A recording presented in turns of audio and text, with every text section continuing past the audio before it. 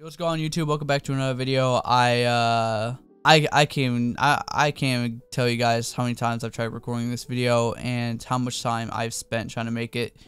Um so today I'm talking about XQC and Pokimane and the whole situation surrounded by it. So Pokimane is currently calling out XQC on his moral stance because he took a hundred million dollar contract with Kick and if you don't know Kick is a business owned by Stake, and Kick is a streaming platform. Pretty much overall, Pokimane is saying XQC is immoral and kind of stupid for taking this $100 million deal because it's ran by gamblers pretty much uh, that's how he's making his money. And my overall my overall opinion on all of this is that Pokimane I feel like is just starting drama. Um, I'm not gonna go into a whole fucking tangent here.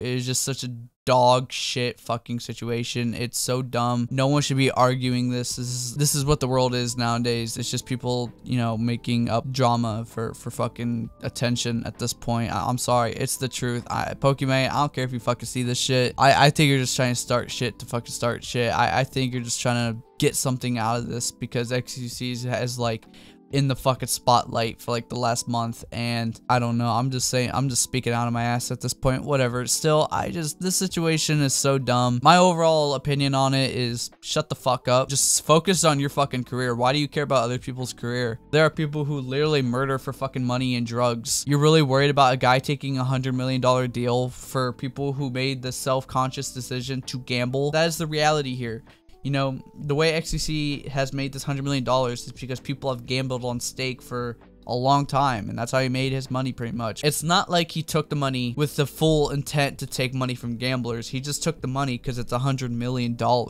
You can't sit there and lie and say if you if Kick offer you that if Kick offer you that 100 million dollars, you can't you won't turn it down. You, you if you turn it down, you're stupid. Okay? If you say you you you would turn it down, you're lying.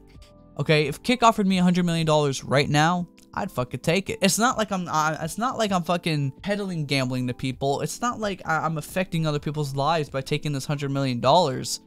I'm affecting my own life. I'm trying to. I'm trying to make a, a fulfilling life for myself in that situation. XQC has gotten nothing but shit on in this like last year.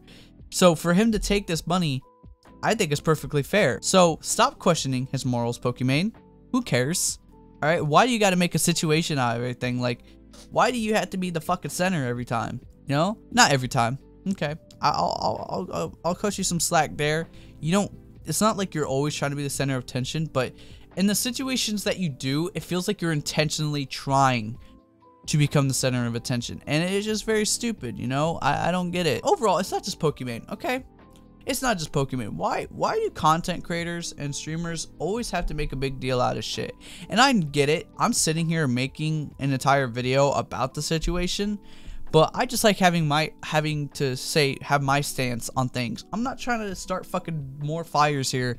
I'm just trying to understand why they were started in the first place. It's dumb. It's a dumb situation. I don't think we should be having these conversations. Uh, we're a bunch of fucking idiots online trying to make money from the internet rather than go get real jobs. I mean, personally, I do have a real job, but at the end of the day, I do want something to do with the internet at the end of my life. You know, I want to be able to make money from the internet, but there's no guarantee. But that's besides the point. Let's stop being a bunch of bitches, all right? Y'all are in your late 20s arguing about a guy miles away from you getting a hundred millions of dollars from a, a streaming platform when in reality you have made millions of dollars yourself making probably some immoral decisions in your career, shut the fuck up. Deal with your own career. Stop trying to shit on other people's career and just live your fucking life without trying to get involved in others. Once again, I get I'm sitting here kind of involving myself in this situation as well. But I'm only involving myself because I truly cannot see a reason why to to make a big deal out of this. It's not like XQC is out here fucking killing people, dude. Can we calm the fuck down? This is not a big deal. This is not a big deal. There's nothing to fucking complain about. Can we, can we shut the fuck up now? People, I'm so fucking tired. I tried making this video like 80 times. Shut the fuck up. Go make your fucking bread. Go the fuck to bed. Wake the fuck up. Do it again. Okay? That's your motto. Stick with it. Stop being a bitch.